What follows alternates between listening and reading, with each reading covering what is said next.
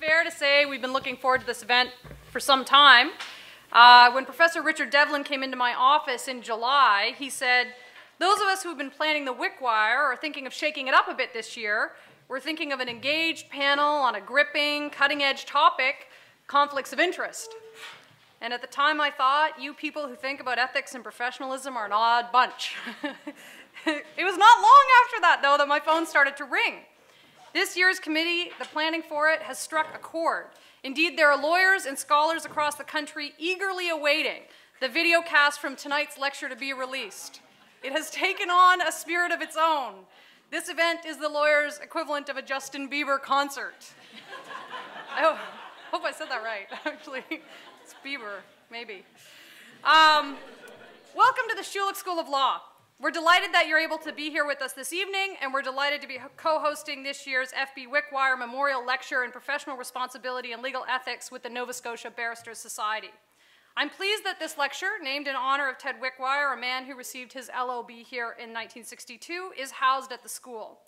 First, the lecture honors a man who worked tirelessly to ensure that lawyers maintained a level of uncompromised professionalism. We're fittingly proud of his contributions to the legal academy, the university, and the profession. You can read more about those contributions on your invitation card. Second, this lecture reflects an ongoing relationship between the school and the Nova Scotia Barristers Society.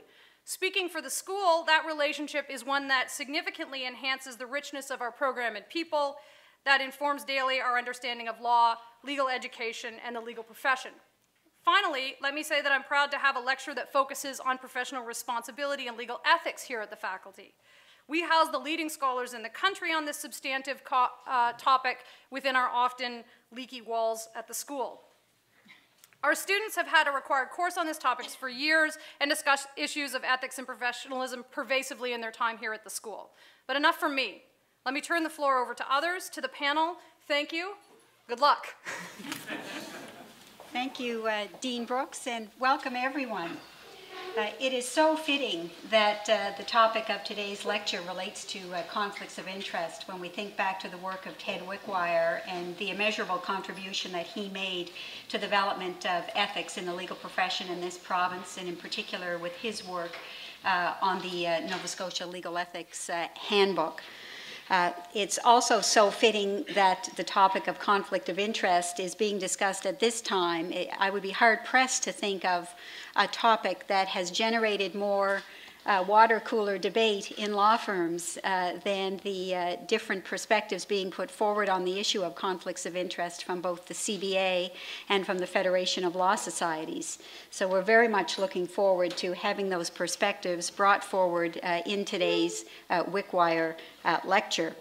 Now, Dean Brooks has set some pretty high expectations for the day with a comparison to the Justin Bieber uh, concert, and I am noticing Justice Fichaud's uh, hairstyle, which does bear some uh, some fairly marked similarities to uh, the Teenage Idol. So. Uh,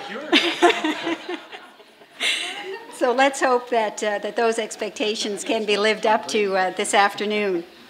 We're not going to spend time going through any uh, detailed uh, introductions. Uh, there are biographies set out uh, in your programs, uh, but we are delighted to have with us this afternoon Professor Paul Paton, uh, from the uh, University of the, of the Pacific, McGeorge School of Law in Sacramento, California.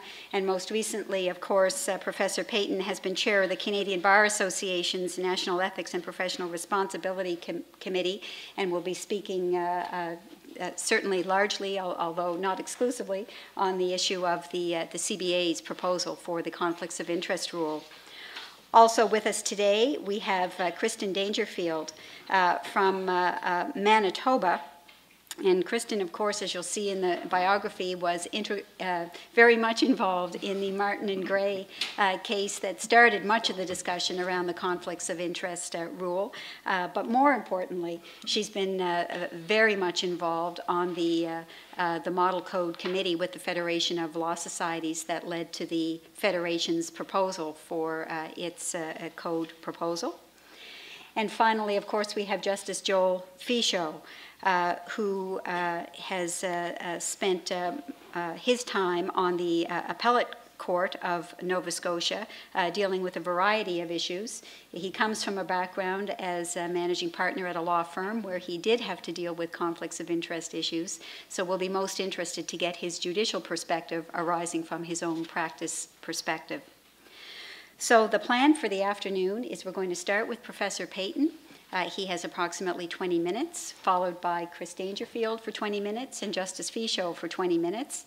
And at the end of that, we have 10 to 15 minutes set aside for discussion and questions uh, from the audience. And uh, we very much hope that you'll uh, participate uh, in that to, to lead to as full a discussion of this important issue as we can generate in the limited time that we have available. So with that, Professor Paton, I'll turn, turn the floor over to you.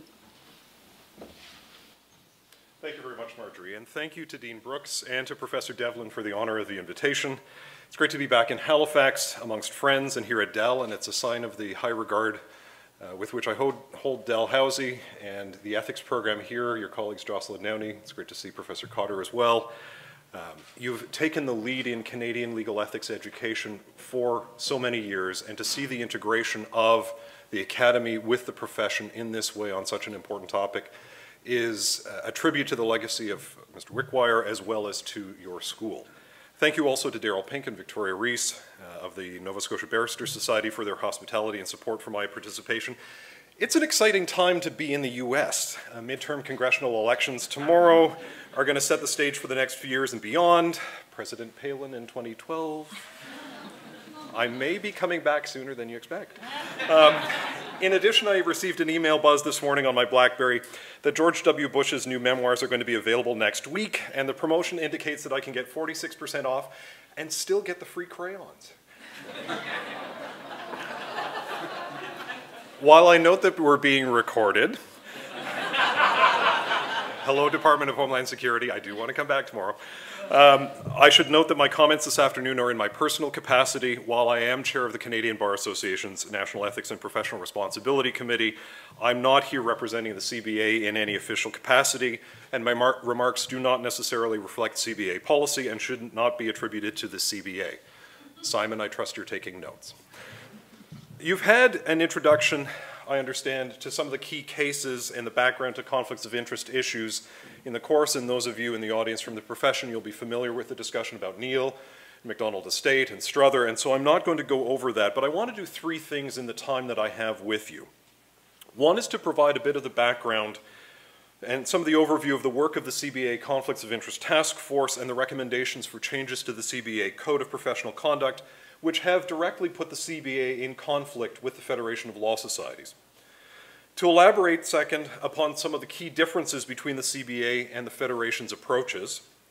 And third, and actually where I'm going to start, is to situate the Canadian debate on conflicts of interest in international perspective.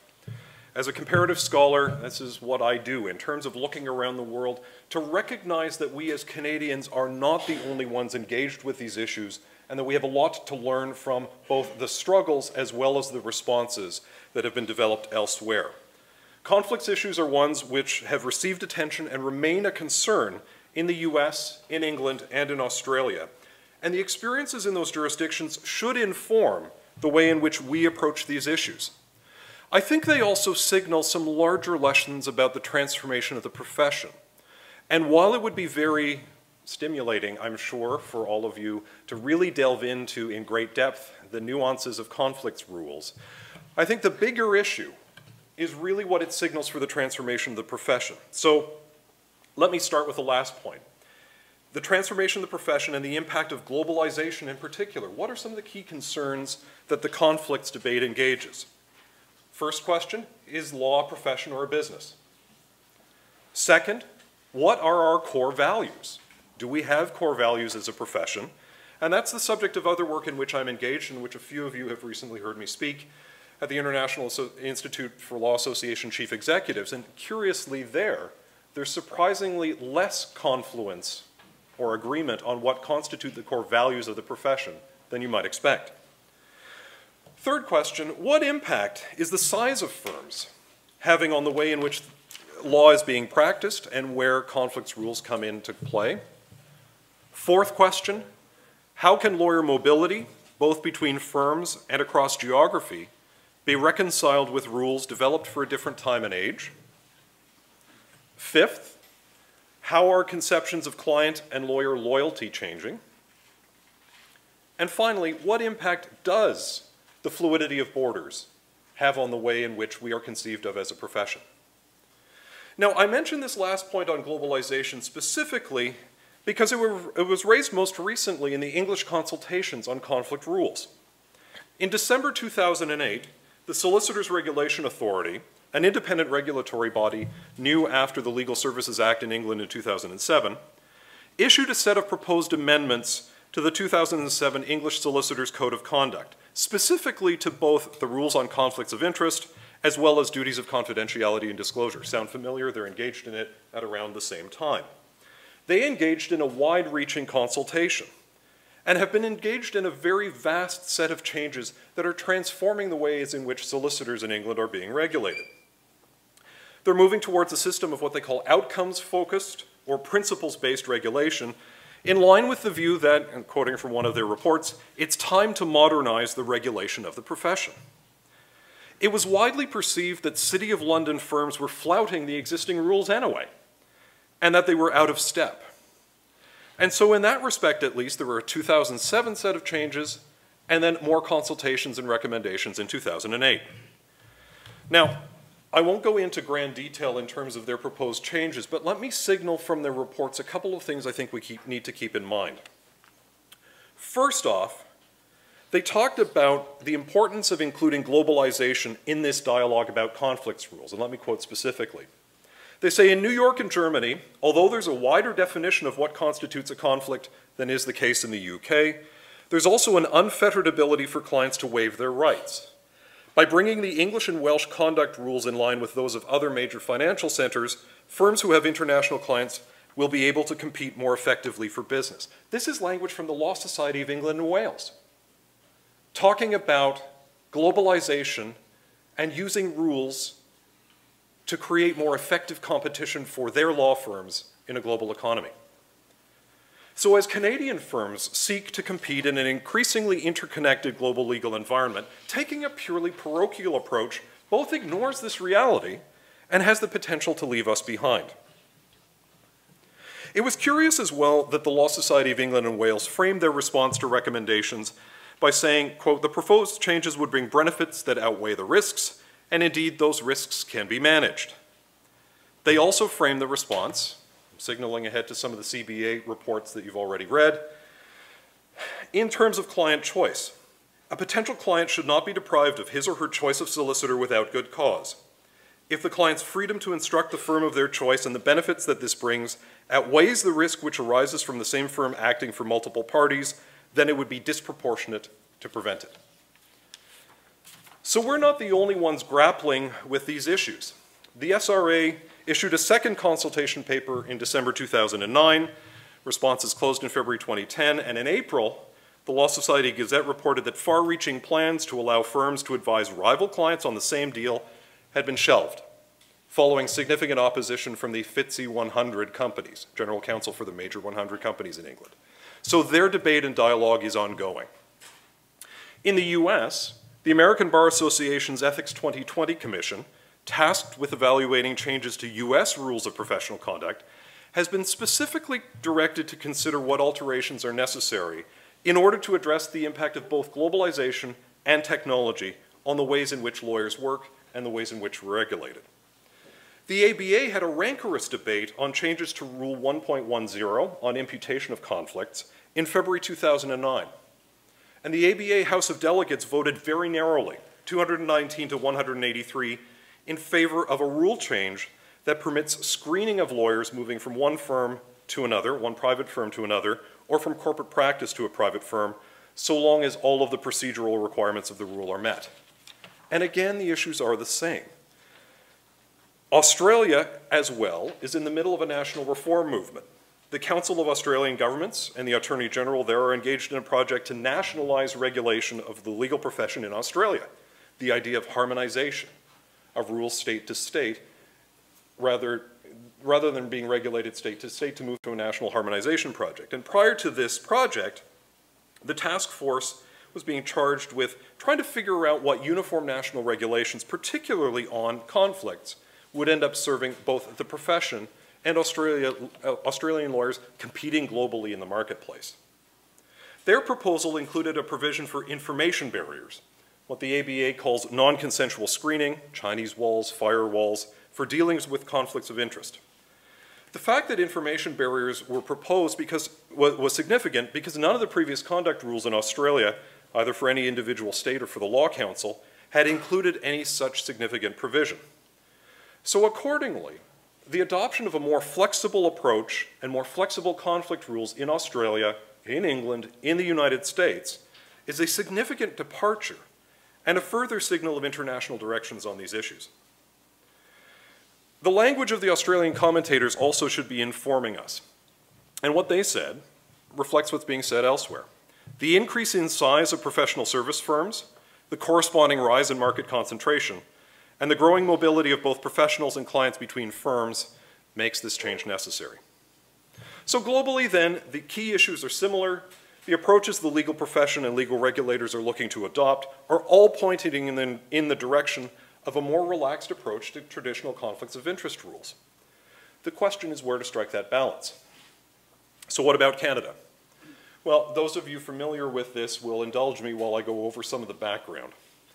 In August 2008, the Canadian Bar Association's National Council adopted virtually unanimously 21 different recommendations aimed at reforming the CBA's Code of Professional Conduct and providing some additional guidance after MacDonald Estate, Neil and Strother, on how lawyers could fulfill their fiduciary duty to avoid conflicting interests. You have distributed here this afternoon a one-page handout. I understand that one of my colleagues at Western has actually made this into a t-shirt which is more a sign of life in London, I suppose, than in terms of the merits of the t-shirt. But in terms of just signaling to you how complex it is and how difficult it is to resolve conflicts and the kind of thinking that has to go in, you know, if you're a conflicts partner in a firm, and I know that some of you either have been or are, you hope you enjoyed that previous life. In dealing with these issues, though, I also I frame it both as a professional responsibility concern and as risk management. All you need to do is point to the settlement, $30 million, from one of those major Toronto law firms, Torys, in the Conrad Black case, to know that there are significant potential, without any admission of liability, of course, to know that there are significant consequences, personal, professional, and financial, to conflicts of interest decisions. So getting this right has important consequences internally within the profession, externally in terms of the way that lawyers are viewed, and most importantly for clients. That was reflected in the 260-page report, which I understand Professor Devlin didn't make you read for this afternoon. It's both comprehensive and controversial in its way. And we don't have all afternoon, and I've got a few minutes left, so I'm not going to provide you the overview, although you do have the summary. I'll, I'll hit on a few significant points, though. And one of the things that I think comes out first and foremost is again the task force's emphasis on loyalty to clients. Lawyers must never permit their own interests or their duties to others to compromise their work for a client. They must provide zealous representation and protect client confidences. Clients are entitled to expect that their lawyers will act with integrity and provide them with sound legal advice. Simply put, the central public policy purpose of conflicts law and rules is to protect client representation. Okay, we've got that out there. So what do we need to do? Well, what the report attempts to do is answer a number of different questions. First question, how do you define what is a conflicting interest? Second, to clarify the duties of lawyers after a retainer ends. And I had actually taken my legal ethics class from Queen's up to the Supreme Court of Canada when Strother was being argued. It was a fascinating day. Fascinating exchange with the judges, and the fact that it's a 5-4 decision is completely consonant with what went on in the courtroom that day.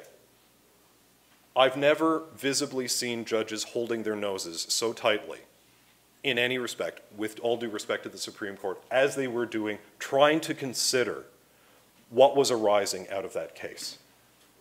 And in that respect, at least, as we look at a, as a profession at our responsibility to clients, where our duties of loyalty go, and how to make sure that we don't let our own financial interests overwhelm our duties to those clients, we have some work to do. So a definition of what constitutes a conflicting interest, clarification of the duties of when a retainer ends, to address and clarify, third, that misuse of confidential information is something distinct from conflict of interest. These often get merged in the discussion and dialogue, and I think the CBA's task force sent an important signal by saying, look, we've got responsibilities around confidential information. They should not be merged with our important considerations of what constitutes a conflict. Fourth task out of the task force report was to update the approach on the use of confidentiality screens originally adopted in 1993 after the MacDonald estate case. Next point, to address confidentiality concerns arising from law firm staff transfers as well as law firm mergers. You know, once upon a time, you graduated from law school, you joined a firm, assuming that you didn't make another choice, you stayed with that firm, Staff stayed with that firm. You stayed in your community, and that was the end of the story. We are in a different era. Mergers, acquisitions, the globalization of practice, the movement of staff, the movement of lawyers, virtual law practice, it's a changed reality. And then finally, the key point, and again, one of the issues I keep coming back to in issues that I write about that lawyers still struggle with is who is your client? And so, in that regard, at least, in 260 pages, what the CBA's task force attempted to do was delve into these issues, provide some answers that could be translated into the Code of Professional Conduct, and to give additional guidance, a chart that you can have made into a t-shirt or otherwise, in their toolkit to help lawyers actually get their way through the murky decisions and the murky waters of conflict problems. The report's key recommendation, and I know that I'm running out of time, so let me talk about the key recommendation and then a couple of the issues on uh, the juxtaposition of CBA with federation interests. The report's key recommendation codifies the meaning of conflicting interests as an interest that gives rise to, quote, a substantial risk of material and adverse effect on representation. A substantial risk of material and adverse effect on representation. And they talk about that arising in three different circumstances.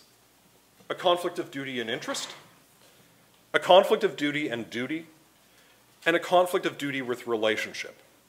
And I'll leave it to you to go back into the report in detail to unpack all of those three. But essentially what the report's trying to do is set the bar quite high, and again, in light of the duties of loyalty to clients, but to say, look, in terms of this changed reality, where can we manage conflicts and what do we need to define as a conflicting relationship? The idea that it has to be a substantial risk of material adverse effect on representation is where that bar got set. In those three circumstances that I identified, CBA's report says that unless the client's been informed and has consented, a lawyer may not act where any of those exist. So you need to inform your clients and you need their consent. Okay, but what about the rest of the situations? Well, the CBA and the task force believe that a lawyer should be able to act in a matter which was adverse to a current, uh, current client's interests, provided that the matter was unrelated to any matter in which the lawyer was acting for that client and no conflicting interest was present. We're starting to get into some of the detail. And in that respect, at least, what it's really about is saying, where are we going to draw the lines? Should a bright line be drawn for where a lawyer's representation ought to end? And what are you doing in terms of client choice if you draw the line in that particular place? And I think in that respect, the conflict with the Federation really comes down to a few key issues of difference, and I'll leave it at this point. First off is this definition of what constitutes a conflicting interest. There are different views. I've talked about where the CBA's bar has been set. The Federation's proposed rule is that a lawyer must not act or continue to act in a manner where there is or is likely to be a conflicting interest unless after disclosure the client consents. The problem is that little inserted phrase, or is likely to be. That means up front, a lawyer has to basically prognosticate about where conflicts will end up emerging. And while I'd like to think that we're all visionaries, the problem with that language is that it carves in stone the obligation as a professional responsibility. The idea that you have to make the right projection. The second area is acting against current clients. And briefly, where the CBA and the Federation differs is that the CBA sees the Federation's proposed approach to it as freezing the law. As Chief Justice McLachlin noted in dissent in Strother, lawyers' duty of loyalty is violated, breach of fiduciary duties established. This is the position on the authorities which courts must follow. This does not, of course, preclude law societies from imposing additional ethical duties on lawyers. They are better attuned than the courts to the modern realities of legal practice and to the needs of clients. If obligations of lawyers are to be extended beyond their established bounds, it's for these bodies, not the courts, to do so. And so the CBA has said to the Federation, don't abrogate your responsibility. Don't freeze the law, because, well, the law might change. And in that regard, at least, we need to take a more careful look with broader consultation. And I think that's another key point in terms of process. The CBA consulted widely. Over 300 responses to a questionnaire, open hearings and the like, the Federation hasn't engaged in that. And so in terms of engaging a dialogue with the profession, we've got substance problems as well as a real process problem.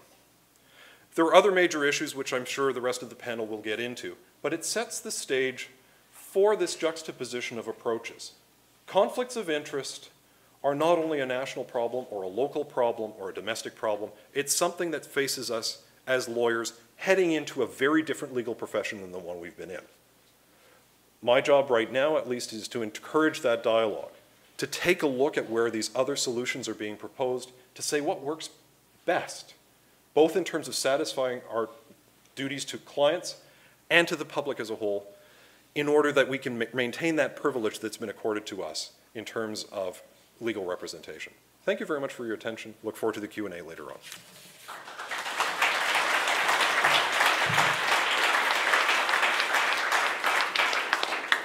Thank you very much, uh, Professor Paton. I think you've set the stage uh, very nicely for our next uh, speaker, uh, Chris Dangerfield.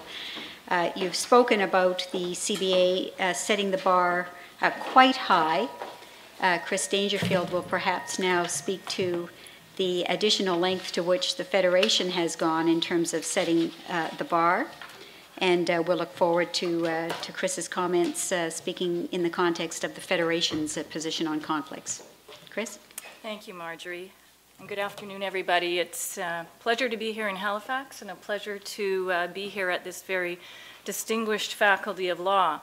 Uh, I have to tell you that if 30 years ago, uh, when I was sitting in a classroom much like this, uh, except for the fact there were no plugins for laptops, if someone had told me that over the course of the next couple of years that I would transfer from one law firm to the next, uh, that I would in effect become Exhibit A in a case that would wind its way up to the Supreme Court of Canada, that uh, the decision in that case would essentially revolutionize the law of conflicts as we knew it in Canada at the time, that it would uh, generate uh, effectively a cottage industry for my colleagues across the country to engage in disputes over conflicts, that it would impact on clients in, in both a negative and positive way.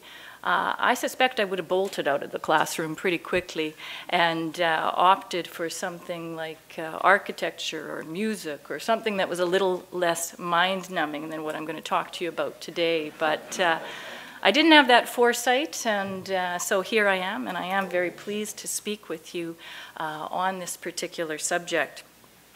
I'm going to talk to you uh, today, in keeping with the theme that we're here to speak about, about the good, the bad, and the ugly of conflicts uh, from the perspective of a regulator whether that be the Nova Scotia Barristers Society, the Law Society of Manitoba, or the Federation of Law Societies. Uh, the entity that is charged with developing standards of professional conduct for lawyers, uh, what a lawyer should do, what a lawyer shouldn't do, and then enforcing those standards. And in every instance, uh, our mandate as regulators requires that we develop those standards of professional conduct with a view to protecting the public. And who's the public? Well, the public is our clients. It's our current clients, it's our former clients, it's our prospective clients, and we are charged with protecting the interest of those clients. And that's an important thing to remember uh, in terms of the discussion that we're having this afternoon, because that's a very distinct obligation that regulators have as opposed to what the Canadian Bar Association does. The Canadian Bar Association advocates for the interests of its members. I'm a proud member of the Canadian Bar Association, and it does tremendous work. But its work has a different focus than uh, that which uh, regulators have. It strikes me that the concept of conflicts and the rules that prohibit uh, conflicts uh, serve a purpose that is good uh, in every sense of that word if we focus on client protection. Because it's important that the profession collectively ensures that our clients can be confident that they always have our undivided loyalty. It's absolutely critical that when a, a client comes into my office, they know that I'm not going to divulge their secrets, I'm not going to attack their interests, and they are going to have my undivided loyalty. I will be loyal to that client alone. And it's those very simple, basic principles that are at the heart of the discussion about conflicts and are at the heart of the debate about the rules and, and what the rules ought to provide with respect to conflicts of interest.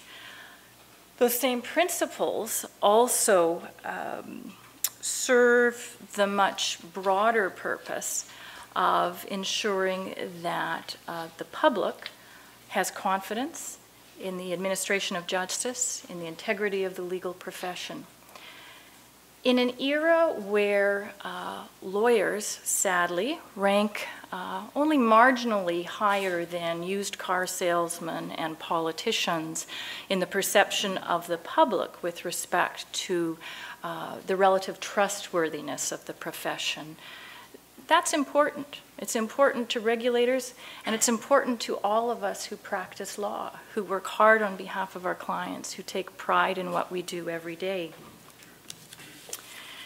And so the principles governing conflict, the principles that prohibit conflicts, uh, really, really do serve a purpose that is, that is good in that sense. But what it can start out, what is good, can very quickly deteriorate if we don't identify conflicts of interest, if we don't uh, manage those conflicts of interest, where a lawyer uh, places himself in a conflict, prefers his own interest, his personal interests over, over those of a client, or prefers the interests of another client or another person over his own client. In those circumstances, uh, there's a very real risk that the client's interests are jeopardized, and it's our responsibility as regulators to ensure that we protect those interests by imposing rules that are sensible, clear, and are fair. And if we don't do that, we run the risk that someone else will step in and do that for us, uh, as governments have done in other jurisdictions where lawyers have lost the right to self govern. And so it's with that background in mind, it's for that reason that the Federation of Law Societies, in developing model rules uh, with respect not only to the professional code of conduct generally, but to rules relating to conflicts, uh, took a significant amount of time in determining what the content of those rules ought to be. Uh, a committee was established in 2005 uh, to address the Neil decision, to uh, review uh, the legal principles, the applicable legal principles, case law that followed, and to develop uh, proposed rules. And I'm going to focus this afternoon. I believe you have some rules, or we're going to be provided with some rules. I don't know whether you have the model code rules, but in any event, um, I'm going to focus on the rule that relates to current clients because without a doubt, that is the rule that has generated uh, the most significant amount of controversy in terms of the work that the CBA do has done as opposed to the work that the Federation of Law Societies has done. And the current client rule in the model code uh, is 2.04 sub 3. As I say, I don't know whether you have it there, but what the rule provides essentially is that A lawyer must not represent a client whose interests are directly adverse to the immediate interests of a current client, even if those matters are unrelated, unless both clients consent. That's what the rule says, and that's what the Federation has recommended. The most hotly debated aspect of that rule is the phrase that says, even if the matters are unrelated, and I'll talk about that in a moment. But uh, in simplest terms, what does the rule mean? Well, it means if you have two clients and their interests are adverse, and we can talk about whether they're directly adverse or whether it impacts on the immediate legal interests, but for all intents and purposes this afternoon, where the interests are adverse, the Federation says get the client's consent before you're prepared to act. So to put that in, in real terms, if I have a client, Mr. Smith, he comes into my office, uh, he's just left his wife, he wants me to represent him on his divorce, and I accept the retainer. Next day, Mr. Smith's employer comes in and wants to discipline some employees, one of whom is Mr. Smith. Well, without a doubt, the employer's interests are adverse to the interests of my client, Mr. Smith. And yet, it's an unrelated matter. I'm acting on the divorce matter. This is an employment matter. It's unrelated.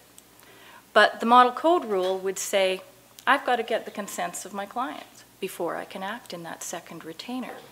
And when I say consents of clients, uh, that is plural, consent of each client. And, and it's simple, it makes sense. Why wouldn't you? Each of those clients has come into my office to request my services to represent their interests. Surely they're entitled to know if there are other interests at stake that might have some impact on my ability to represent them. If Mr. Smith were to receive a lawyer from, or a letter from me or one of my associates saying, you're terminated effective tomorrow, he would quite justifiably uh, feel betrayed by the lawyer uh, and the firm that had been representing him. Similarly, surely the employer is entitled to know when he comes into my office and I agree to accept the retainer that there might be another interest at stake, that I might not um, represent him in the full sense in that I have actually some sympathy for one of the clients that he's about to terminate because he happens to be my client in another matter. But in those circumstances, the model code says, I've got to get their consents. Well, what does the CBA say about the model rule? You've heard a little bit about it from Professor Paton. The CBA says the uh, Federation's rule is too broad, that it, in certain circumstances, will prohibit representation where there is no real risk uh, to the client. Uh, again, I don't know whether you have the uh, CBA's rule, but the CBA rule is in Chapter 5. Uh, and unlike the Federation rule, which says you can't act where the interests are adverse unless you, unless you have consent, the CBA rule says you can act as long as the matters are unrelated and providing that there's no conflicting interest.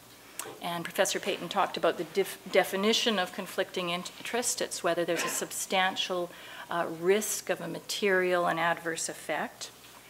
So the CBA says to me, I don't need to get my client's consent in circumstances where I can demonstrate that my representation of a current client, in this case Mr. Smith, will not uh, be materially and adversely affected by my retainer in the second matter. So in effect, what the CBA rule does is take away the onus that is placed upon the lawyer in the model code provision, which requires that the lawyer ensure that there's disclosure to his clients and that his clients consent to the retainer uh, in each instance. So what about the client in all of this? Where are they where the CBA rule would permit the lawyer to make that assessment in terms of whether there is a substantial risk of a material and adverse effect independent of the client, without input from the client? Um, is that a good idea? To leave that to the judgment of the lawyer? Well, as lawyers, we make judgment calls every day. That's what they're teaching you in law school. They certainly taught us that in law school to take a set of facts, apply the law, render an opinion. But I have to tell you, uh, it's been my observation um, over the years that a funny kind of thing happens when, when lawyers leave the academic world and enter into the business side of the practice of law. Uh, It's certainly been my observation that lawyers and law firms quite readily recognize a conflict when someone else is on the hot seat. But put them in the same scenario, not so much. They're, they're equally as likely to say, conflict? What conflict? And often that's because there are competing interests. The lawyer's conflicting personal interest in wanting to accept a retainer that's lucrative, that's interesting, that's high profile. And I don't, I don't mean to attribute ill motive in those circumstances because uh, I do believe that, that most lawyers genuinely, when assessing those scenarios, um, want to do the right thing. But ultimately, it's a very difficult call to make when, when you do have a personal interest ultimately in the outcome and whether, whether you are going to continue on with that retainer. In terms of confidential information and the risk that it might be disclosed, in the Martin and MacDonald case, the court said the test is whether a reasonably informed member of the public would conclude that uh, confidential information was likely to be disclosed.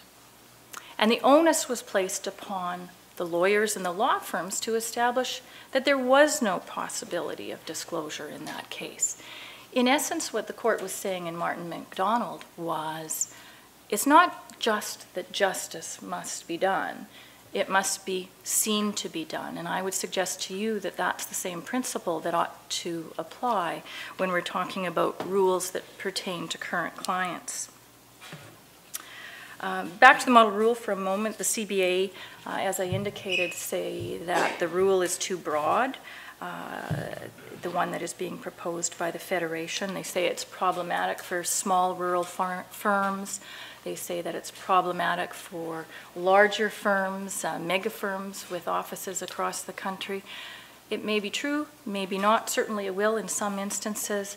Uh, that is up for debate. But the fact of the matter is the rule that has been proposed by the Federation of Law Societies is a virtually verbatim articulation of the rule that was established by the, law, the uh, Supreme Court of Canada in the Binnie decision. It's taken straight from a passage uh, written by Mr. Justice Binnie. And the rule reflects a requirement um, addressing the broader issue of the duty of loyalty that is owed to clients.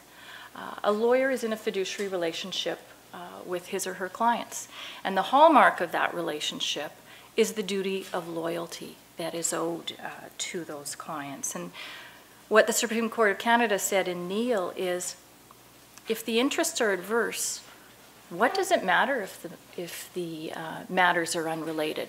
You still ought to get the consents of the client before you take on the second retainer. So it seems without doubt that the Supreme Court of Canada has established a very high standard for lawyers in the context of current clients, which is premised on the fiduciary duty of loyalty. Now, not all unrelated matters uh, create problems. There's no question about that, but um, there has to be a principle, there has to be a rule for those that do. That's the rule that was established in Neil, That's the rule being proposed by the Federation of Law Societies. So where are we now? We have Rule 2.04 sub 3 that uh, the Federation has, has advanced. And we most recently have um, a response to that uh, rule uh, from the Bar Association that says to Federation, the Federation and to law societies, don't rush into making a rule uh, about current clients. I think I heard Professor Paton say that this afternoon. Don't rush into that without further consultation and without having the opportunity to see how the law evolves. Well, I venture to say that we could consult on this matter uh, as we like to say in Manitoba, till the cows come home. And we're not going to reach unanimity on this issue. We're not. Uh, If you look at uh, decisions in this area, if you look at the Martin decision, the Strother decision, there were strong dissents in those cases, no question about that. But you know, when, when Martin and MacDonald uh, was decided, when the Manitoba Court of Appeal issued its decision, my eldest son was six days old. He's now 21. He could be sitting in this classroom. Uh, when the Supreme Court of Canada overturned that decision, uh, Mr. Wickwire, who we are here to honor today, was president of the Nova Scotia Barristers Society. That's 20 years ago. An entire generation of young lawyers has passed through these doors. And we're still arguing about the content of rules relating to conflicts. And now, of course, we have the Neil decision, and we're contemplating uh, what, what is the duty of loyalty? How far ought we to go with that? Uh, But Neil was issued in 2001. The Federation established a committee uh, in 2004. Uh, There was a considerable amount of work done by that committee. In fact, rules were presented in 2007, and then the Federation, very wisely, I would suggest, opted to wait until it received um, the work product from the CBA's committee. And uh, I have to say that the work was, that was done by the CBA is excellent. A very thorough, uh, thoughtful, well articulated report. Um, and I'm not just saying that because I know you gave them advice, Professor Paton, uh, or because my employer was in fact on that committee. Uh, but it certainly is a tremendous report. And for any of you that want to explore some of the issues, I, I would commend it to you for reading. But at the end of the day, the CBA is looking at this issue from a different perspective than regulators are looking at it from. And the time has come for regulators to make some very difficult decisions, and they are difficult. Uh, this isn't an, an easy area, um, very complex, uh, no doubt about it. And it's time that the Federation make some rules that not only will protect the interests of clients generally, but will ensure that clients trust law societies and lawyers to protect their interests. And so the Federation's of the view that the rules that have been proposed do just that, that uh, the rules provide clear direction to members, that they protect the interests of clients, that they are consistent with what the Supreme Court of Canada has said to us about what the scope of a lawyer's duty of loyalty is. We can change the rules, but we can't change the law that applies to fiduciaries or to lawyers and law firms as fiduciaries. Uh, we don't have that ability. Uh, so if we're going to establish rules, why would we not establish rules that reflect what the courts have told us uh, is the law uh, in this country? Are the rules perfect? Absolutely not. Um, but I think they say that uh, perfection is the enemy of excellence. Uh, will they require uh, further review? Probably yes, as complex matters come to our attention, as the law continues to evolve over the years. But I would suggest to you that we can't let the complexity of the issue paralyze us. We can't establish ethical principles that um, don't accord with legal principles. We can't make rules that favor the economic interests of lawyers and law firms over the interests of our clients. We can't make rules that uh, do damage to the reputation of the legal profession and to all of the good that we do. Uh, because to allow that to occur to, uh, in essence, undermine the public, undermine the public's confidence uh, in the legal profession would not only be a bad outcome of the conflicts debate, it would be a very ugly outcome uh, indeed. So thank you very much for your attention. I look forward to uh, discussing these with you.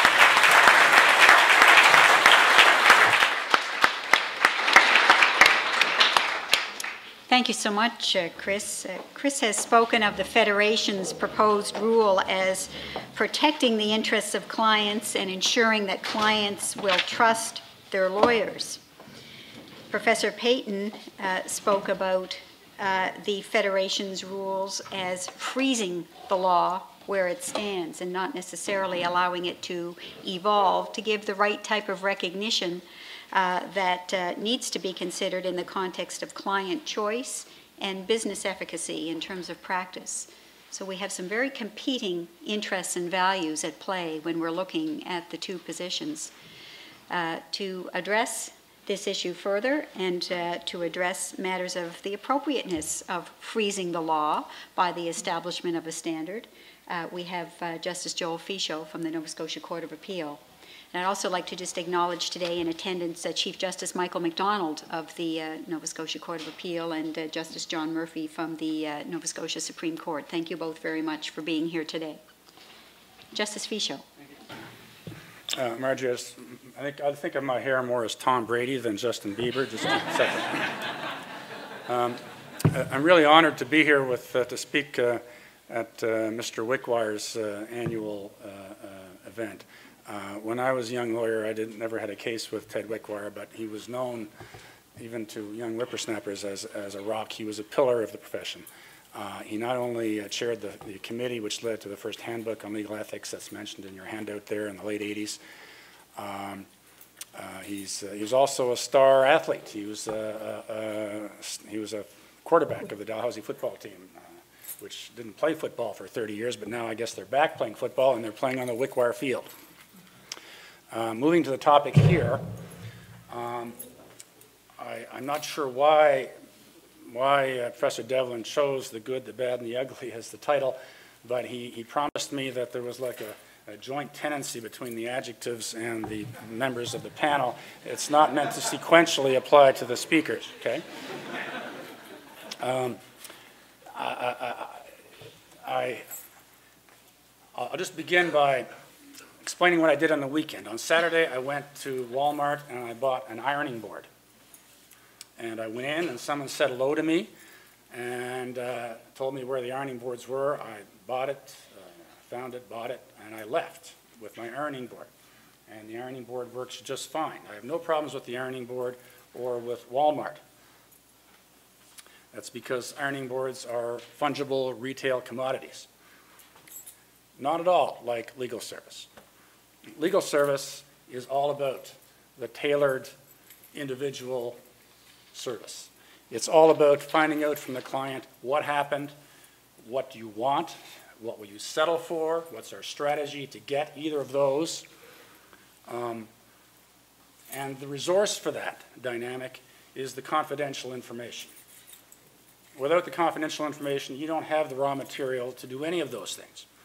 And the confidential information only flows as the lifeblood of the relationship if there is trust. Trust that the lawyer will keep it confidential, that it's for his or her eyes only. Trust is, is, is one of the two uh, bases, foundations, or one of the foundations, whether it's two or not, one of the foundations of the uh, lawyer-client relationship. Unlike my relationship with Walmart when I bought my fungible retail commodity.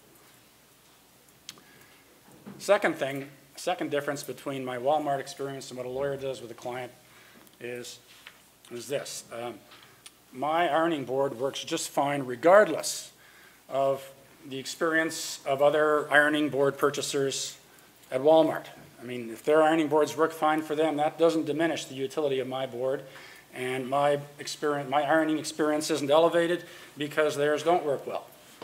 In other words, ironing board sales are not a zero-sum commercial transaction, unlike law practice, where usually, certainly in litigation, but even in negotiation, solicitors work, the better you do means, unfortunately, the worse your opponent does. Uh, there may be exceptions where both can do well, and that's why, why mediators thrive. But generally, especially in litigation, but even in, in negotiation, um, the less well your opponent does, the better you do. Which is why your lawyer is your champion, your gladiator. Um, and you don't want a wussy gladiator. You don't want, you don't want a wimpy champion. And that's where the, the notion came from that the lawyer is a zealous champion, the zealous word that you see in the case law. And the zeal means, uh, at least to the phrase that came, that was in one of the cases I think Justice Binnie referred to, um, means that the lawyer knows only his client. He doesn't know another client. He doesn't know his own interests. He knows only his client's interests. That, what I'm speaking of here, is the second foundation of the lawyer's relationship. Before it was trust, now this is loyalty I'm speaking of. Trust and loyalty, the two bases of an effective lawyer-client relationship. And the best lawyer uh, is one who actually makes these work to his advantage. For instance, the best lawyer is one who can actually extract from his client the best confidential information to tailor his, to tailor his strategy in a way that works so that he's not surprised later. And the lawyer who doesn't do that, who treats, who treats law practice like a, a retail commodity, like a cookie cutter, uh, he won't get the best result. In fact, he may even go so far as to get himself sued. And the best business developers are the ones who key into what I'm talking about this, this keying into confidential information and using it for strategic, uh, for individual tailored strategy. I mean, look at the legal advertisements you see in, in, in the magazines. They all talk about solutions. We are your law firm for solutions. Well, that's exactly what I'm speaking of. Confidential information rematerialized, transmorgified into a solution. No one at Walmart offered me a solution to my ironing issues. You know, no one, no, I, I didn't have engaged in conversations about ironing strategy. Nobody cared about the confidential facts that happened in our laundry room. It just wasn't relevant. Law, law practice is, is different. That is the difference between the profession of practicing law and the business of retail commerce. So, moving from that, let's take a virtual scenario. Well, before I get to the virtual scenario, let's, let's sort of bridge that, first of all, to talk about the legal parameters. If loyalty and trust are basic to the lawyer's relationship with his or her client, then that means that the legal parameters which govern the legal relationship, the lawyer's relationship, have to promote trust and loyalty. Now, there are a number of legal parameters, one of them being the disciplinary standards of conduct that law societies enact. Um, um, that's a matter for the law societies to enact and the CBA to comment on. That doesn't involve judges, so I'm not going to go there. But there are two aspects of the lawyer's relationship trust, loyalty, so on which definitely involve judges, and that's what I'm going to speak of. First of all, that is the content of the fiduciary duties, which judges, courts enforce, uh, including damages awards.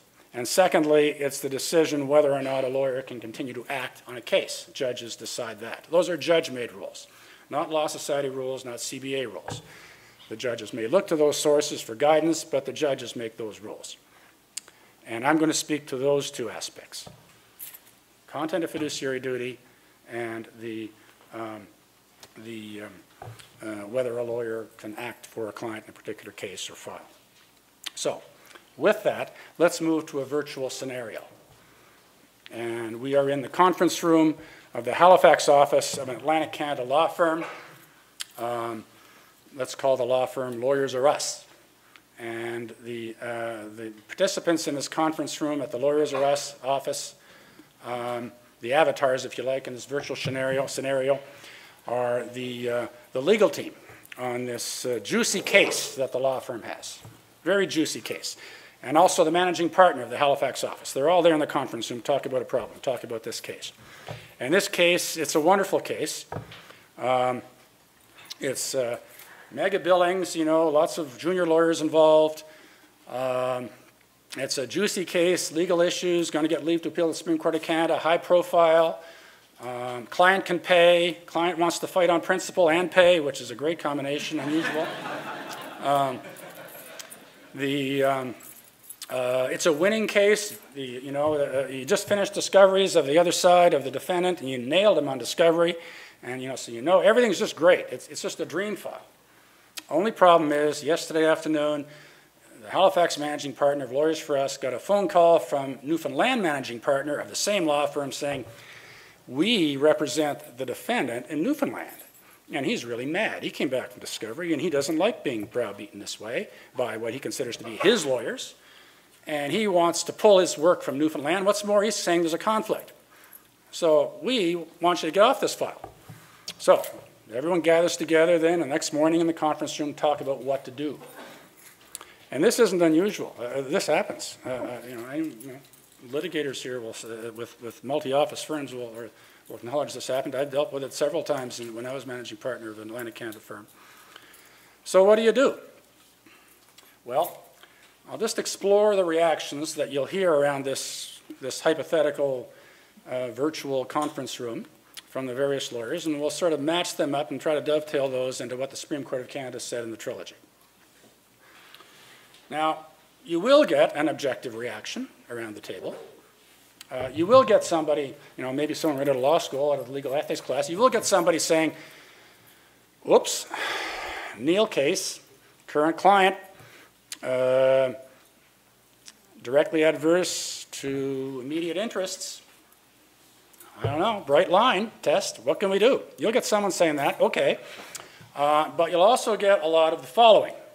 You'll get some people saying, um, gee, I remember something in those cases about uh, all those metaphors. There were Chinese walls, and there were cones of silence, and there were conflict screens. Let's do all. Of, let's get all. Let's get our people to get all those things in place this afternoon. It'll be great. We'll take care of it. Um, that's the MacDonald case, well, and Martin and the Martin or MacDonald Estate case. But only problem is that's not going to work here. It's not going to work for two reasons. First of all, MacDonald case dealt with confidential information involving former client situation. This deals with direct adverse interest of a current client. So bright line test here, not a shades of gray test. Chinese walls, so on, don't work under, under the Neil, you're under the Neil case, in other words, not the MacDonald case. Uh, second problem with it is it's too late. Uh, even under the MacDonald case, all those conflict screens have to be in place before the risk materializes. Once the risk materializes, then even, even under the single imputation theory, the imputation has, has occurred, and it's too late to get the horse back in the barn. So the metaphor solution, Chinese walls, conflict screens, cones that, that's not going to work here. Uh, next possible scenario that'll be discussed by someone at the, at the table will be, um, well, this defendant isn't our client. He may be a client of the Newfoundland office, but he's not our client. We're in the Halifax office. And, and, and you know, we're not suing our client. There's a client of another office. Well, that's not going to work either because it's clear under the case law that the client is a client of the firm. And the fiduciary duty is a fiduciary duty of the firm, also of individual lawyers, but also of the firm.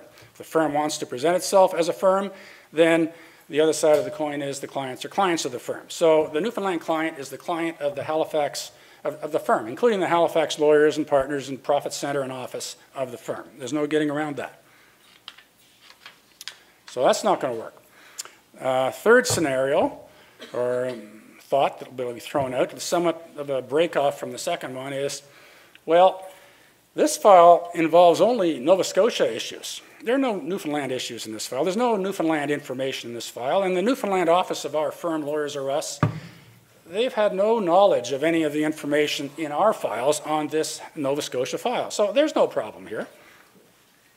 Well, yes, there's a problem because, again, we're not dealing with a former client. We're dealing with a current client. It's the bright line test. It's Neil, it's Binnie. And that means that the test is uh, adverse to the immediate interest of a, of a current, uh, directly adverse to the immediate interest of a current client. And the principle is loyalty, not confidential information. Shielding the confidential information doesn't answer the concern. The concern, Binnie said and Neil, is loyalty. And loyalty applies whether the Newfoundland office has the confidential files of Halifax or not. So that doesn't work. Next, the idea that'll be thrown out is someone will say, well, um, this is a this is a, a this is a tactical challenge. And even Binnie and Neil said tactical challenges don't work.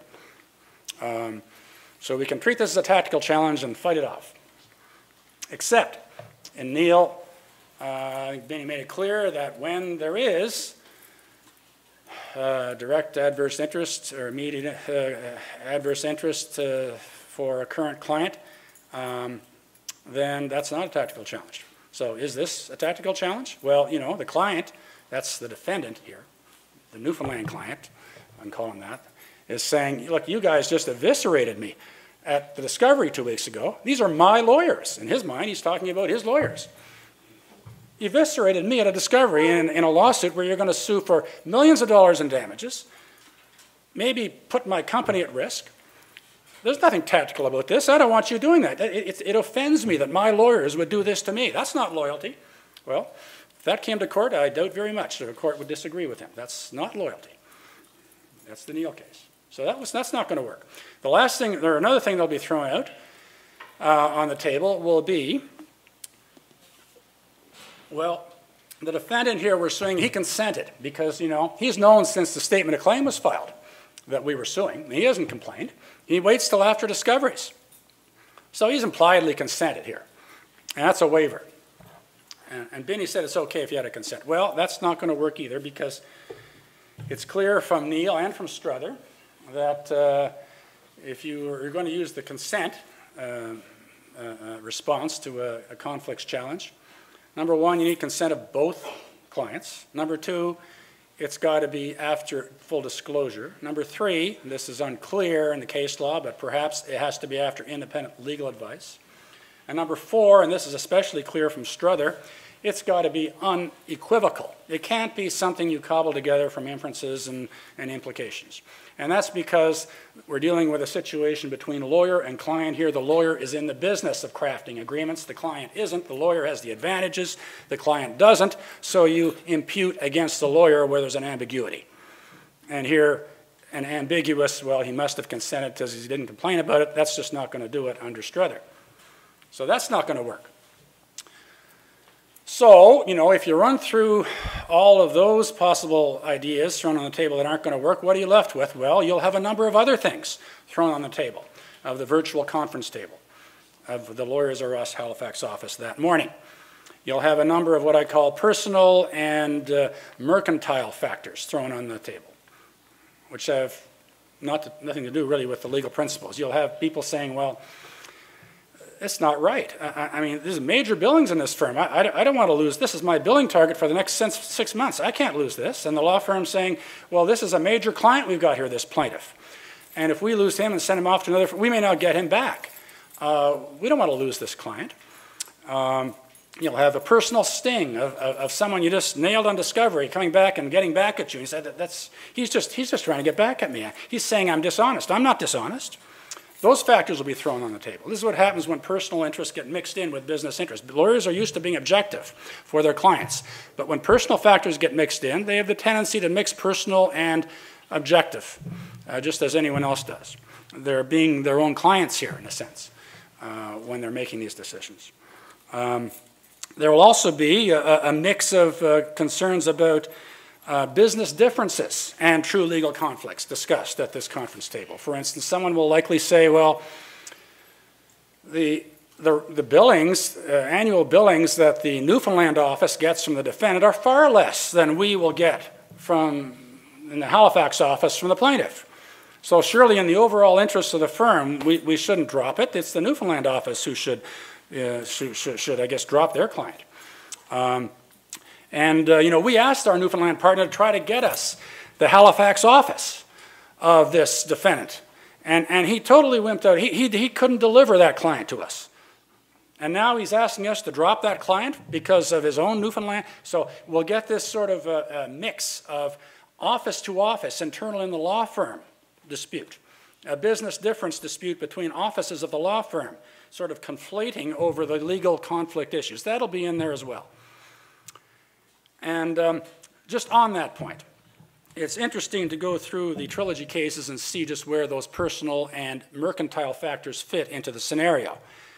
And I'll, I'll, just take a few seconds and go through the three cases, but I can say they aren't on the judge's radar. Uh, in MacDonald Estate, um, I think it was Sopinka, he said there are three competing values which determine the issues. Number one is integrity of the legal system. Number two is, uh, I think, the, the, the, client's right to choose as lawyer. Number three is reasonable mo mobility of lawyers. No mention of, you know, my right to keep my billings and my right to keep my client. That's not, not on the table. You go to Neil, and Neil and uh, Justice Binnie, he restricted those factors even further. He said the major, the dominating factor of those three is the integrity of the legal system. The other factors diminished, were downplayed. And uh, uh, uh, Justice Binnie, if you like, when, when he, when he enunciated the, the sort of defense of, if you I call it defense, or the, the response to the conflict objection of saying it's a tactical objection. He didn't, he didn't state that in terms of, well, this is in the interest of the lawyers to be able to raise this response to a conflicts objection. He spoke of it in terms of it's consistent and it promotes the integrity of the legal system that we don't allow tactical objections to upset litigation. So if we move from MacDonald to Neil, we are elevating the integrity of the legal system value and diminishing the other two. So we're left with integrity of the legal system. We move to Strother, and it couldn't be more explicit in Strother that when the interests of the fiduciary and the beneficiary conflict, beneficiary trumps fiduciary. That's what Strother was all about. So these personal and mercantile factors that, that get thrown on the table, the last group I was talking about, you know, if the issue comes to the court, that uh, unfortunately uh, is really not on the radar of the judge uh, who, who decides um, the two issues that I'm speaking of here. Um, you know, they may well play in the, uh, in the, uh, in the, you know, the nuance, those sort of uh, business and personal nuances may well affect the calculus of the, uh, what's going on in the conference room of lawyers or us when they're deciding what to do. But you know, three months later, when it gets to a court and there's an actual challenge, they won't really play. Um, so the bottom line of all of that, yeah, I mean, is yes, we're in another century. It's a brave new world. There has to be adjustments and so on that I've heard earlier.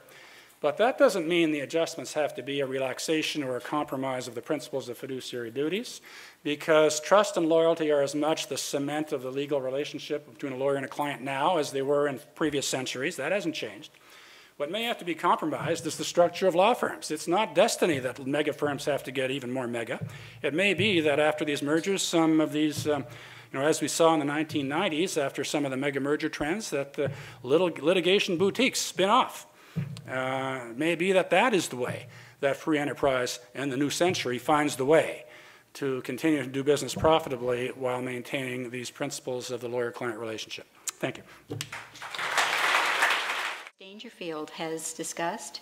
Are we somewhere not quite there, but in a little different world, according to uh, Professor Paton, where some of these other factors, including some of the mercantile factors that Justice Fichaud spoke about, uh, have a role to play in the practical reality of the provision of legal services. We're open at this point for your comments, your questions, uh, in the hope of uh, furthering uh, some of these issues in the remaining 15 minutes or so that we have uh, uh, left in these lectures. So I'd ask you if you have a question uh, to come to the mic. I'm not sure that the mic is picking up the question, so I will repeat it and then direct the question to the member of the panel who you would like to, to address it. Maybe just while we're waiting for the first question. Um, I could see Professor Paton sitting there shaking his head at several of the things that Chris Dangerfield uh, uh, had to say. And I'm wondering, uh, Professor Paton, if you might want to just uh, give a very brief response to uh, uh, some of the points that, that Chris had put forward. You know, it was interesting. I started off my life as a commercial litigator with a major firm on Bay Street in Toronto, and that poker face thing never really worked. um, there are a number of different issues that I think both Chris and Justice Fichaud brought up that I'd like to respond to in terms of just the reaction. And one of the things that I'm not doing and that the CBA is not doing is ceding the moral high ground. It's always a good, effective debating tactic to try and portray somebody advocating changes somehow occupying less than the moral high ground. What I'm trying to do, certainly in reflecting in my own comments, and I think this is where the reality of practice and changed practice, mega firms and otherwise, is imbued throughout the CBA's report and in these international reports that I'm reflecting, is that the world of practice is very different and that the conflicts rules need further consultation in terms of being able to develop them. And that's the fundamental problem that I've got with the Federation's approach. With all due respect to Chris, the fact that, well, we won't necessarily get agreement on them doesn't mean that we shouldn't consult. And for me in particular, the regulator exercising delegated authority in the public interest from the legislatures for that kind of approach to go forward is reflective of what happened in England and Australia, where the regulators were seen as acting in their own rather than in the public interest, then the end of self regulation. And so, in that respect at least, that's the process concern. The substance concern that I've got is actually, and I was appreciated Justice Fichaud talking about, you know, heading into Walmart to buy an ironing board. Wait a couple years in England, you can go into Tesco, the grocery store, and get legal services. In the US right now, or if you're online here, go to LegalZoom.com.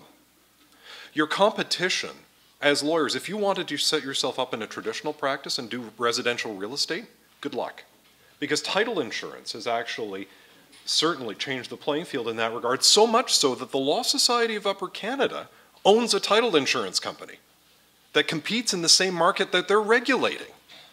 So, in that regard, at least, the Competition Bureau, 2008 report, basically said, you know, they reported their frustration with the view that consumer interests in Canada weren't being served by legal rules that were unnecessarily restrictive. And the Legal Services Act in 2007 in the UK enshrines as a principle of regulation the consumer interest and a consumer welfare perspective. So, in that regard, at least, when we're looking at not only conflicts rules and the narrow definitions, but rather the way in which the transformation of the profession is happening, we need to be attuned to these other interests. The mega firms are already there, and it's not just simply a commercialization and that kind of commercial boardroom discussion that does go on, creating problems. Mr. Strother, graduate of this law school, ended up actually much the richer as a result of the Supreme Court of Canada's decision. Much, much the richer. But in terms of duties of loyalty to clients, those are still there. I'm a proud lawyer. What I'm reflecting, I think, is the transformation in terms of the law as business paradigm that we're all walking into and dealing with right now. These aren't easy solutions, but I think a practical approach that actually recognizes the ways in which these firms are going and enshrines consumer choice as part of that has to be part of the dialogue and that that dialogue needs to be an open consultation, particularly where it's coming from the regulatory end. And do you think that the consultation element can be sufficiently addressed by the regulator by having provincially run consultations as each law society looks at whether to adopt the conflicts rules proposed by the Federation? Well, until we get a national regulator, which we can't seem to do on securities ends, and I don't think we're going to see with law societies. I mean, each one of them does have to understand what the local market is. And I think in terms of looking at exercising their responsibility as regulators to say, okay, we want to come up with this harmonized approach, but we're not even going to go out and consult the public that we're actually supposed to be serving in terms of the public interest, for me is problematic. Now, does it make for an unwieldy process? Perhaps. But I would rather see that invested. The CBA could do it. The American Bar Association, on a number of different occasions, has actually done it nationally. And that's where, indeed, the CBA is there to serve its members. But it's always taken that road where it's service to the Canadian public as well. And I think, in that regard at least, that's why you get these extensive reports. That's why you get the kinds of thoughtful, informed, differing perspectives that the CBA can end up providing. And for the Federation to build on that through the individual law societies, I think would be an important step and would send a signal to governments and others that they take that role in terms of serving the public interest um, perhaps a little uh, differently.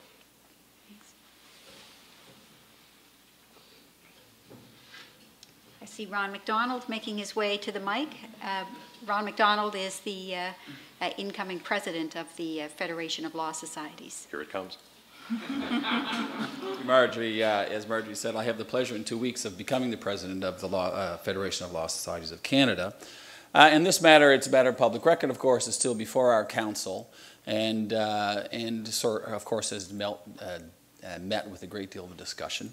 And I, I, welcome this opportunity to actually, Professor Paton, ask you a question. I'm a, I'm a lawyer of 25 years uh, who practiced in Halifax, but most of it in Antigonish, which is a small town, and consider myself a small town guy. And uh, for that reason, tend to uh, like to make uh, take problems down to what I consider to be their simplest level. And it's a two two part question.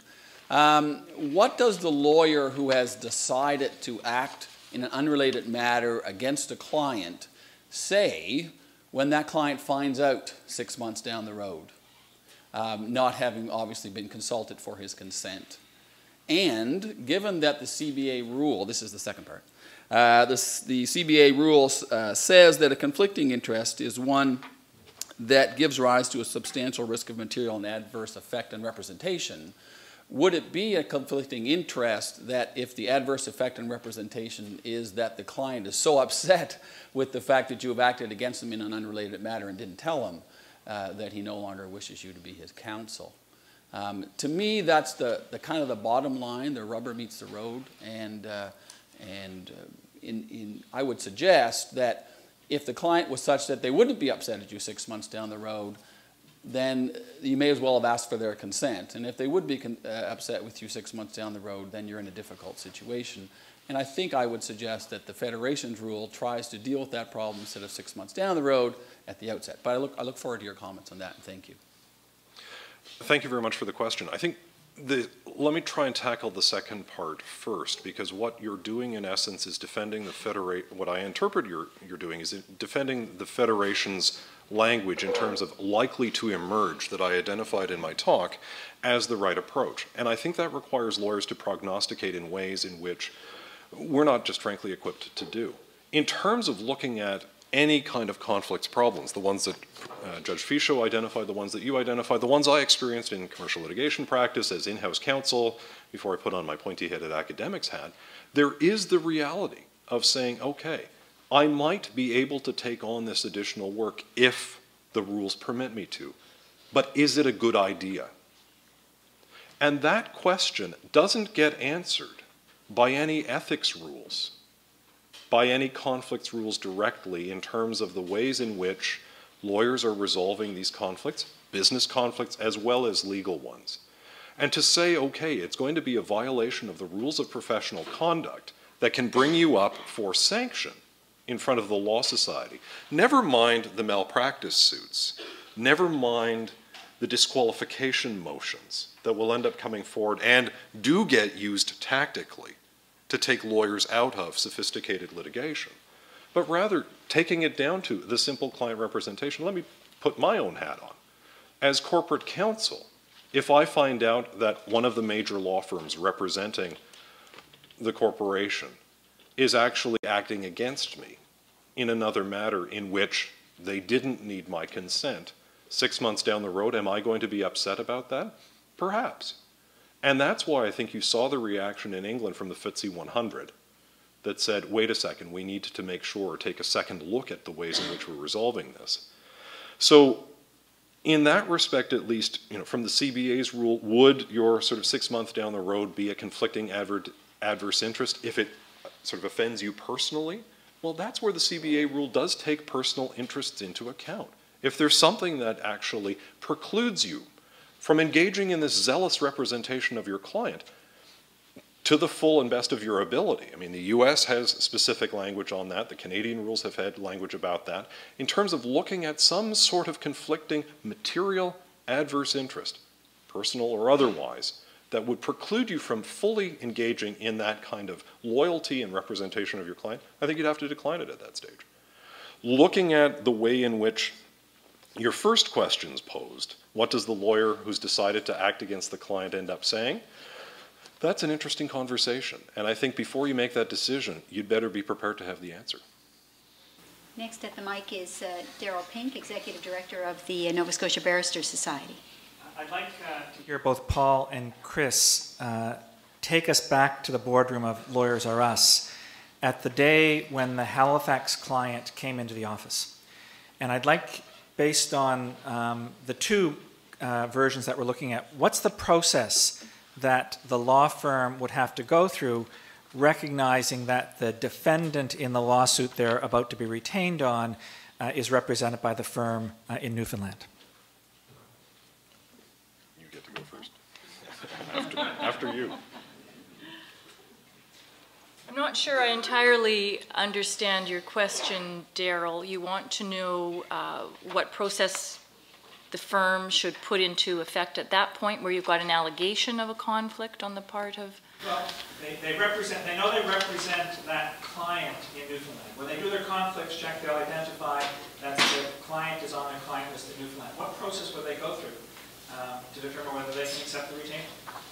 Well, certainly once they recognize that uh, the client uh, is uh, on their client list, uh, then in that instance, to take on a retainer that's quite clearly adverse to the interests of their client, uh, they're not in a position to do that. And in this particular instance, uh, we're talking about a lawsuit where there's clearly a dispute between the parties in any event.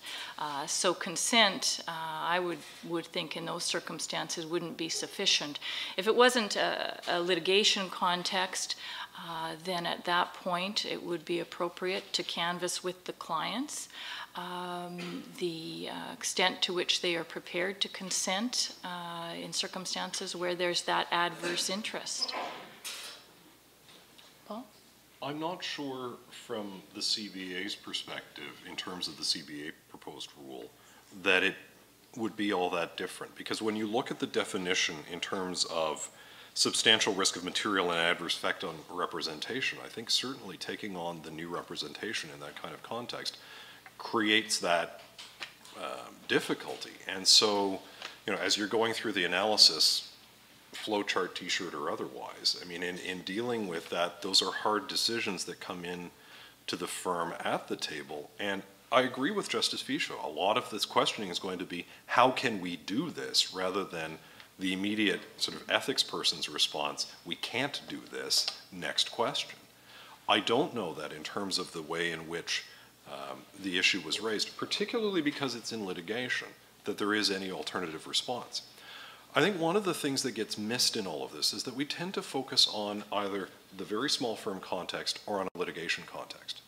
But I would take a look at, for example, sophisticated and complex deals, where you might have deal teams. The accounting firms do this, and you know, while I know that there's a whole lawyer accounting uh, conflict, I was once accused of having had an ethical lobotomy because I actually dared to cavort with the accountants. Uh, what they end up doing is segregating their teams to work on different parts of a large transaction, representing different clients. And in that respect, at least, I think we need to delineate, and we might need to take a look at the rules themselves generally to say, is a one-size-fits-all solution appropriate or adequate in that circumstance? So I'm doing the classic professor thing. I'm changing your hypo and giving you a different response. yes, I was going to introduce myself, Bernie Miller, managing partner of Lawyers R Us, an Atlantic firm, and I, I heard two good examples. My question really relates to client choice and how that ties to client loyalty. And the, the two examples I heard as the managing partner of Lawyers R Us, I can concede that that discussion that occurred in the boardroom was an entire waste of time. It's very clear to me acting for the plaintiff and the defendant is a conflict. But a more nuanced uh, issue might arise with the Mr. Smith example that was given. Mr. Smith uh, is getting a divorce. Mr. Smith lives in Summerside. He's been on the Rotary for 10 years with a lawyer. He's the only lawyer he trusts. And he goes and chats with Mr. Smith and says, You know, this is a tough decision, but I'm getting divorced. Will you represent me? That lawyer is partners with an employment lawyer who lives in Halifax, who's advised a corporate client on their downsizing policy without any knowledge that Mr. Smith was going to be a target. Under the Law Society or the uh, Federation rule, consent is required so somebody's got to go to Mr. Smith before he's been fired and say, uh, You're going to be fired, but can we still act for you in the divorce? In that situation, I think the, the public interest is served, uh, in my view, by recognizing that the client's interest and voice should be heard, and their um, interests are often served by going with the lawyer they trust the most in dealing with the conflict issue otherwise. But I do invite uh, the panel to comment on that. Thanks, Bernie. Uh, Chris, I think that would fall to you to initially respond to at least. Sure. I mean, I don't think there's any question in that scenario. The likelihood of obtaining consent is uh, pretty negligible. But I think what the Supreme Court said in Neil is that uh, without doubt, the prohibition that prevents uh, a firm from taking on that adverse retainer is going to be a real inconvenience to the firm. And it is going to engender the kind of conversations that Justice Fichaud spoke about. But ultimately, uh, the uh, Federation's rule would enable the clients to have some significant input into uh, the end result in that scenario. And just to follow up on that, you mentioned the real inconvenience to the firm. What about the inconvenience to the client? There's no question, absolutely, that these rules will from time to time impact on client choice. That's, that's a reality, and we have to accept that. Uh, regardless of which rules are ultimately adopted and what the nuances are, um, they're not going to resolve conflicts issues in such a way that we're not going to be um, pondering over these in the future. We're going to continue have, having to uh, take a very nuanced approach to uh, conflicts issues in an effort to determine um, uh, where where the interests of clients ought to lay uh, as opposed to those of the lawyers. And certainly there will be instances where uh, clients will be deprived of their choice of counsel. Uh, certainly, I think it was Justice Binnie and Neil uh, indicated that um, the choice of choice of counsel argument uh, is something that really benefits, uh, in fact, the large firms, the mega firms, uh, and leaves the uh, vulnerable, unsophisticated client kind of hanging out there because uh, you can bet your bottom dollar that the client whose retainer is not going to be accepted will be um, the unsophisticated client as opposed to the uh, larger institutional client. So uh, I think that's a given, that's a, that's a problem that is going to continue uh, regardless of which rules are put into place. Professor Paton, did you want to respond to that? I don't have a lot to add other than to reinforce the point that I was making just a little bit earlier, that in the English, in the English legislation and in the Competition Bureau's report, consumer choice is paramount. And in terms of client service, I think that's part of access to justice, where we're talking about working with a lawyer that you know and trust, and that the sense of loyalty in that kind of relationship, to be told by a regulator that no, actually, client, I mean, there's a conversation actually, talk about you know, what you want to say to your client. I've got to tell my client, no, I can't represent you because there's this rule. I don't agree with it necessarily. I still think I could do a good job for you. I know that I can segregate these interests. You'll be okay with it, but by the way, I can't do it. Um, that's another conversation that I think, in terms of looking, the people looking at these rules need to take a much closer look at and to keep in mind. We haven't gone at it from that perspective. The rules don't ref reflect or start from a position of client or consumer choice. And I think, in that regard at least, the way in which regulation of the legal profession has gone in the Canadian perspective, at least in the last decade, I won't even get into the multidisciplinary practice debate, um, is problematic in that regard. And I think those sorts of illustrations need to be brought forward.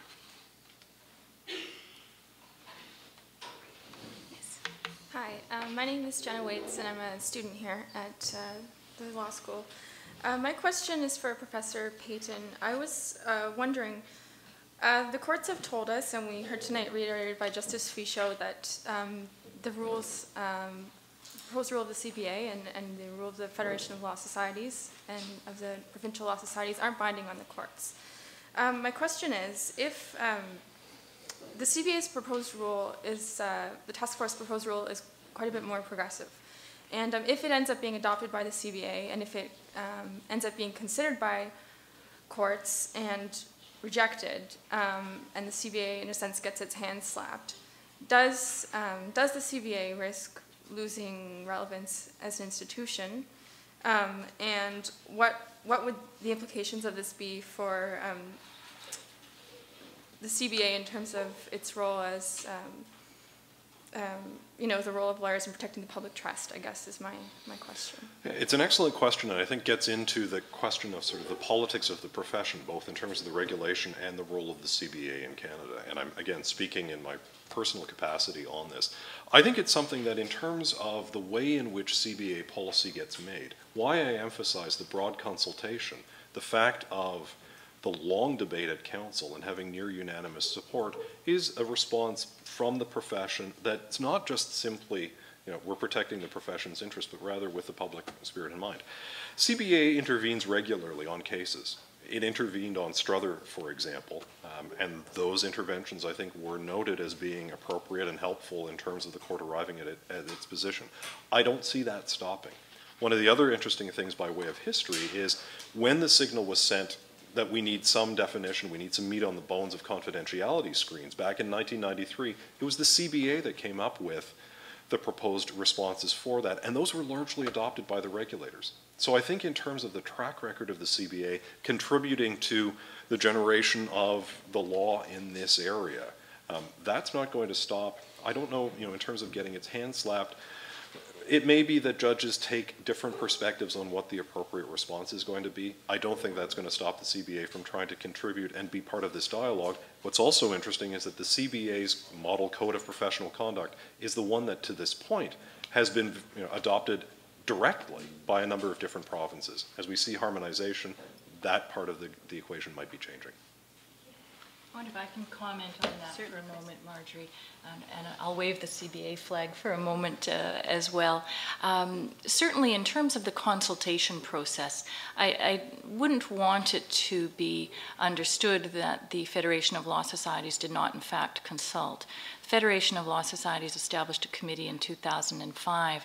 That committee uh, spent uh, the better part of three years developing rules, and in the course of that, uh, consisted of representatives from every jurisdiction across the country. And internally within those jurisdictions, there were varying degrees of consultation with members of the profession. So there was certainly consultation at that level.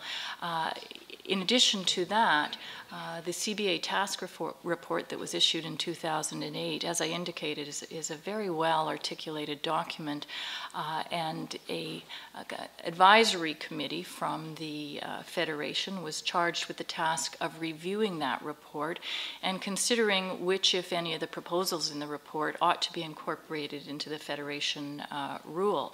And in fact, there are a significant number of changes that have been made to the Federation rule which uh, reflect um, the information uh, that was contained in the CBA report. And so certainly the Federation was informed in that sense in terms of developing the rule by the consultation that was done by the CBA. And there was some significant consultation done by the CBA uh, in the course of generating that report.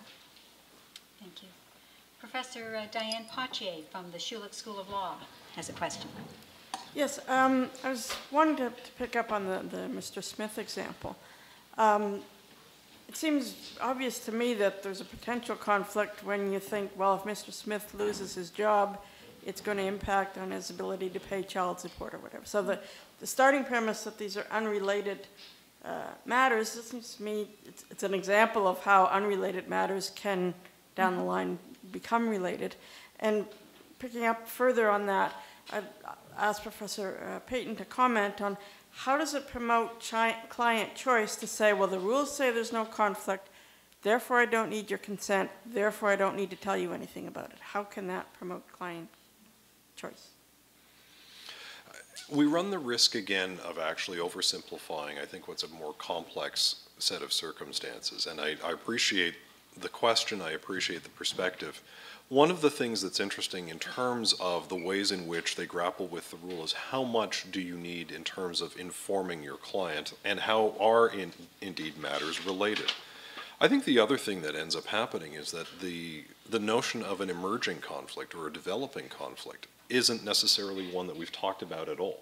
The fact that there are certain circumstances, even now, where under current rules, there are situations that don't appear to be related that end up being related, and law firms have to grapple with getting themselves off the file for one or likely both clients. I lived through that on a number of different occasions in a large, sophisticated commercial litigation practice with a lot of really bright people around the table, and you just didn't see it coming. And so, in that regard at least, we don't eliminate that issue. I think one of the things that I have certainly advocated along the way, and again in my personal capacity, is the idea of informed consent. And that respect, you know, requires us, in terms of disclosure to our clients when retainers are started, to say, look, there are these things that end up emerging. I'm going to understand that this is my relationship with you. Here's what I'm going to disclose with you. Here's what I'm going to have to protect in that regard. And it may well be that we have to have this conversation later on down the road. But in terms of the thing, I think the, the question that was emerging, there is that trust between lawyer and client that under, underpins and imbues that relationship. And I would turn back to that in the Mr. Smith example that was being provided as your sort of underlying paramount concern. I think, ladies and gentlemen, our time is up. Uh, On your behalf, I would like to very much thank uh, Kristin Dangerfield, Professor Paul Paton, and Justice Joel Fichaud for uh, leading us through the very varied perspectives that can be brought to bear on, uh, on this complex issue. Uh, If your appetite is whetted for more discussion, I would invite you to uh, attend tomorrow's Lunch and Learn at the Nova Scotia Barrister Society, fourth floor, continuing professional development program, where uh, Professor Paton and uh, Kristin Dangerfield will uh, continue uh, the debate uh, with respect to this issue. Uh, We hope that there will be a good turnout from lawyers in practice and, and that the lawyers are us. Members will be, will be there to put some more practical examples to the panelists tomorrow as we work our way through, through this issue. Uh, For those members of the Nova Scotia Barrister Society, this issue of the uh, proposed rule uh, is something that is being currently uh, studied uh, through our Model Code uh, Committee chaired by Dan Campbell. Uh, Dan has sent out an invitation to all members of the society to put forward their perspectives on the issue. Uh, Professor Paton commented on the importance of consultation, and uh, certainly while the public consultation is key, so is member consultation, and I would urge uh, those practitioners in the room to, uh, uh, to take part in that consultation, as well as law students who will bring your own perspectives uh, to this issue. So please give your input to Dan Campbell and his committee. And uh, just to conclude then, I thank both the Schulich School of Law and the Nova Scotia Barrister Society uh, for uh, their uh, continuing uh, remembrance of Ted Wickwire and the tremendous contribution that he made to legal ethics, uh, not only in the province, but really on a national basis. And I think we can see through the discussion today that ethical issues continue to very much play such a huge role in the context of legal practice. Uh, So it's uh, been a very relevant discussion. Hopefully, it will have uh, influenced the thinking of some in the room about how to approach the issue, and we look forward to your further contributions as, as we all deal with uh, which rule or which nuance of which rule uh, to adopt and which will ultimately come into play in the province. Thank you again, everyone.